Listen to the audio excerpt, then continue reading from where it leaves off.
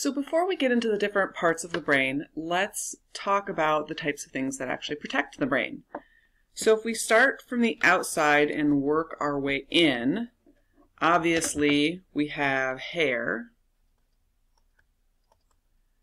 that provides some padding and protection. And then you have your skin and underlying tissues like adipose. Then we have our skull, which in some ways does too good of a job protecting the brain, because once the bones of the skull fuse together, if you get some sort of swelling within the brain tissue or too much cerebral spinal fluid being produced that causes those spaces to, to swell, there's nowhere for it to go. So you end up getting that compression back in by the skull, so you can kind of be forcing the brain to be compressed against the skull, which is very damaging. And then from there we have our meninges. So we have the dura mater, which literally means tough mother. And this is a really tough outer layer that actually adheres to the inside of the skull. There are two layers of dura mater, and between those two layers we have blood. So we have blood between the layers. From there, we have the arachnoid layer, which, kind of like its name implies, think arachnophobia is a fear of spiders, so this is a sort of delicate spider webby sort of layer. And then the deepest layer is the pia mater, which means delicate mother. And this folds into all of the indentations and goes over the ridges of the cerebrum or the outer part of the brain. Between these two layers here, we're going to have cerebrospinal fluid and we're going to have blood vessels. So you'll notice that because the blood vessels are out here, they're superficial relative to the pia mater, the blood does not have direct access to most of the brain. So what other things are actually protecting the brain? Well, as we mentioned, the meninges. So you have your dura mater, the arachnoid, and the pia mater. We're going to continue those meninges all the way down around the spinal cord. So this is one vertebra. This is a spinous process right here sticking out. So you can feel those in the back of your spine. And then this is my spinal cord with spinal nerves that are branching off of it. This outermost layer would be the dura mater. This middle layer would be the arachnoid and the deepest layer would be the pia mater and cerebrospinal fluid is going to be between those two layers.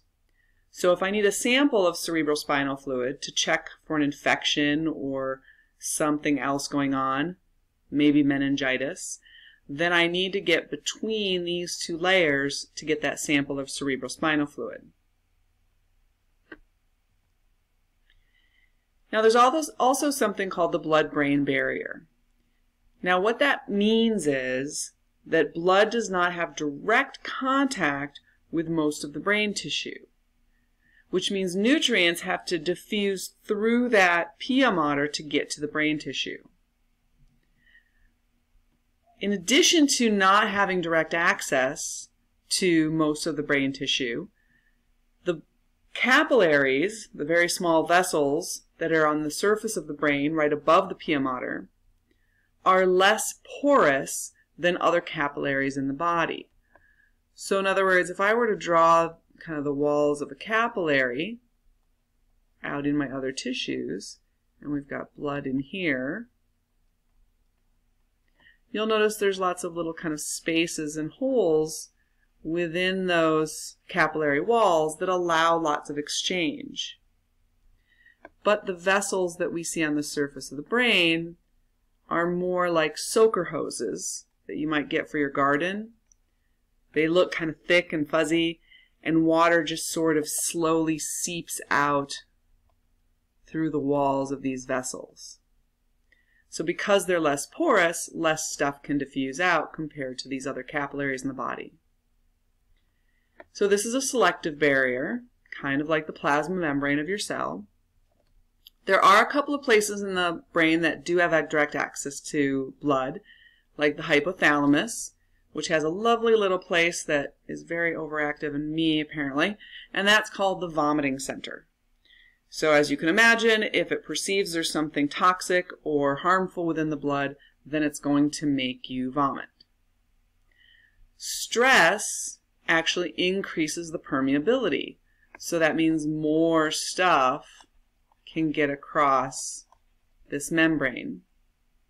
We already mentioned these are not very permeable capillaries.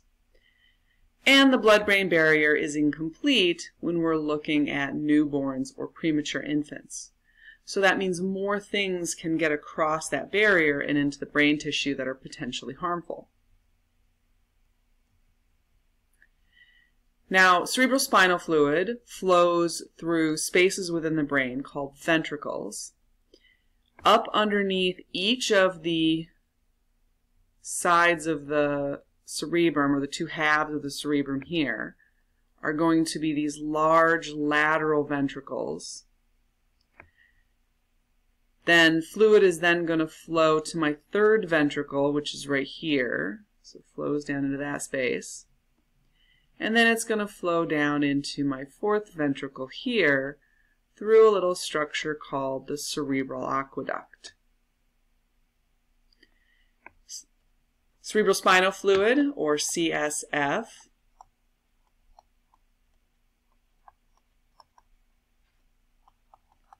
is very similar in composition to blood plasma. So we're going to have mostly water, but we're also going to have ions and proteins and uh, glucose, other nutrients, things flowing through this cerebrospinal fluid. You should know where cerebrospinal fluid is produced. So it's produced within the ventricles of the brain, and it's made by capillary beds called the choroid plexus. So this is a capillary bed within the ventricles.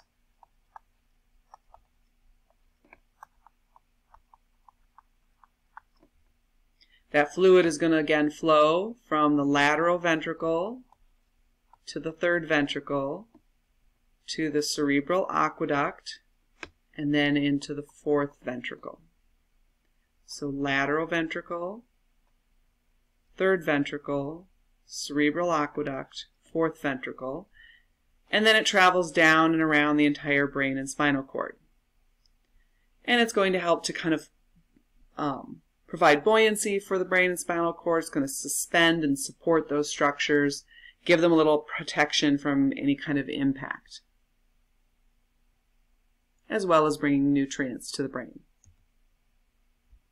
So as I mentioned, cerebrospinal fluid is made by the choroid plexuses that are found in the ventricles. It's formed from plasma, helps to protect and also bring nutrients to the brain and spinal cord, and help to maintain stable ion concentrations. Goes through the ventricles, through that central canal of the spinal cord, which is a little hole right in the middle of the spinal cord, and flows through the subarachnoid space. So that's that space between the arachnoid layer and the pia mater. And then cerebrospinal fluid is going to be reabsorbed back into the bloodstream by structures called arachnoid granulations, which are found on the surface of the brain. So if we go back here for just a minute, we're going to have this cerebrospinal fluid flowing through the subarachnoid space here between the arachnoid and the pia mater, and it gets reabsorbed in these arachnoid granulations up on the surface of the brain.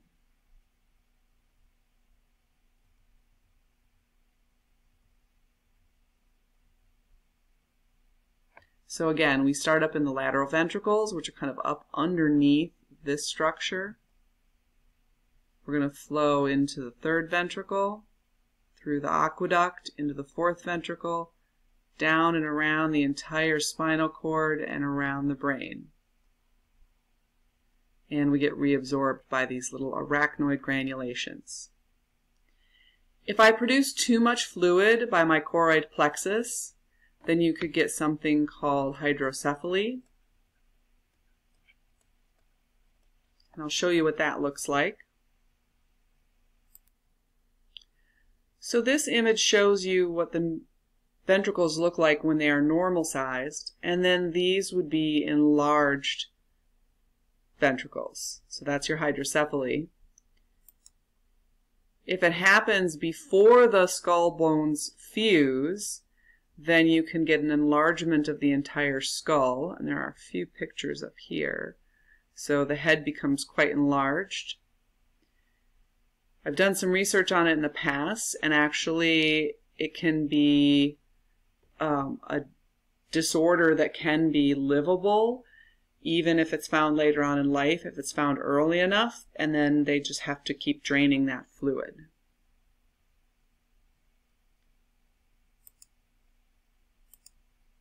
So that covers different protections in the brain, and we'll stop there for now.